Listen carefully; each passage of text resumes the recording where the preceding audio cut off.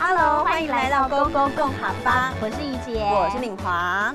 那么其实你知道吗，明华，我之前啊是有跑步慢跑的习惯的。不过最近啊，天气变冷了，我就变懒了。其实可以考虑在家跳手给哦，这是不错的运动。跳手给呢，就是跳绳的意思吧。但我担心的是啊，它会不会让我的膝盖抽耸呢？你说的受伤就是抽耸，没错。但是别担心，跳手给呢，根据研究报告指出哦，它对膝盖的冲击力道其实比跑步还要小呢。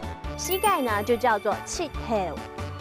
头就是膝盖的意思，所以我们要提醒大家的是呢，运动前要热身，不然很容易受伤哦。这句话怎么说呢？这句话应该要告诉大家的是：运动前要先热身，希望它不会抽松。运动前要先热身，希望它不会抽松。今天勾勾公哈发呢，告诉你怎么样运动对自己最健康。大狗不是说要来跑步吗？你怎么在挑手尾啊？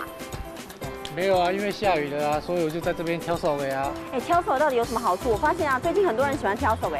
挑手尾的话，它可以强健身体跟瘦身哦。可以瘦身哦，我眼睛都亮，那我要挑一下了。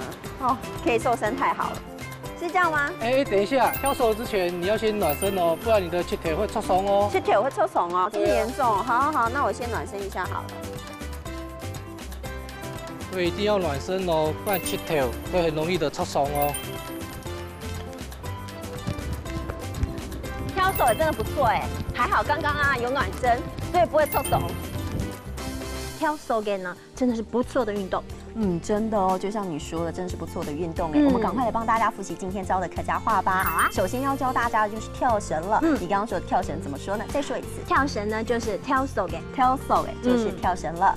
那要注意的是哦，一定要热身，不然很容易受伤。受伤要怎么说呢？受伤的客家话叫做抽怂，抽怂就是受伤了。那要注意的是哦，其实它会不会对膝盖会造成伤害？刚刚也说了，其实不会的。对。但是呢，膝盖怎么说很重要？膝盖呢就叫做 cheat heel。气头就是膝盖的意思哦。嗯，那我们要再一次提醒大家哦，如果说这个运动前要热身，不然很容易受伤。这句话要怎么讲呢？这句话应该要教给大家的是：运动前要先热身，希望它不会抽松。运动前要先热身，希望它不会抽松。今天勾勾公哈发告诉你怎么样健康运动啊，挑色给下次可以试试看哦。试试看喽，拜拜。